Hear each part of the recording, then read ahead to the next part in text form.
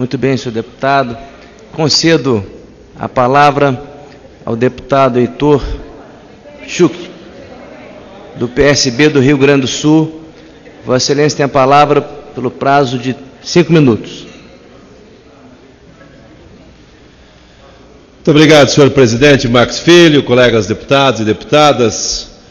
Queria aqui, primeiramente, manifestar a nossa apreensão, a nossa expectativa pelo anúncio da presidência da República com relação a uma redução dos ministérios e a manutenção do Ministério do Desenvolvimento Agrário, que foi criado ainda no governo Fernando Henrique Cardoso para cuidar da agricultura familiar, do desenvolvimento rural, da assistência técnica, da extensão rural, da agricultura que tem o compromisso de pôr na mesa dos, do povo brasileiro o pão nosso de cada dia. Esperamos que esse ministério efetivamente possa continuar, ser fortalecido e poder trabalhar na execução das políticas nessa integração com os estados e com os municípios. O outro tema é referente ao fechamento da fábrica de multas. Cinco pontos na carteira, multa de 127 reais era o que resultava para o motorista quando tinha qualquer problema com o extintor de incêndio. Se tivesse vencido, dentro do plástico, com o ponteiro fora da faixa verde, ou ainda não ser o extintor tipo ABC.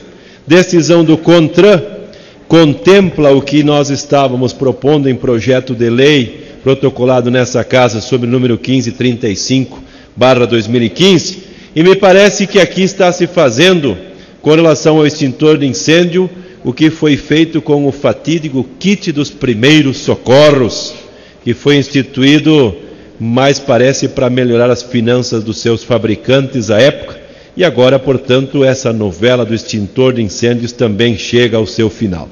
Quero louvar a decisão do CONTRAN e, ao mesmo tempo, dizer que é importante que a gente possa festejar essa decisão, mas lamentar que ela veio tarde. Muitos motoristas compraram o novo extintor, pagaram caro e agora ele fica totalmente obsoleto. Importante também registrar aqui de que entre as exceções de obrigatoriedade do porte de extintor de incêndio estão as motos, os triciclos, tratores e os carros destinados à exportação. E sabemos por que os veículos destinados à exportação ficaram de fora? Porque na grande maioria dos países desenvolvidos, Estados Unidos, Alemanha, Bélgica, Japão, França, Itália, Noruega e outros, o extintor de incêndio já não é exigido há décadas porque os veículos estão dotados de tecnologias inibidoras de incêndio. Além do que, já está comprovado que uma pessoa sem treinamento tentar apagar um princípio de incêndio em automóvel pode ser mais perigoso do que o próprio incêndio. Soma-se ao fato de que 2 milhões de acionamentos de seguro no Brasil no último ano, apenas 800 foram por incêndio e destes só 24 fizeram uso do extintor.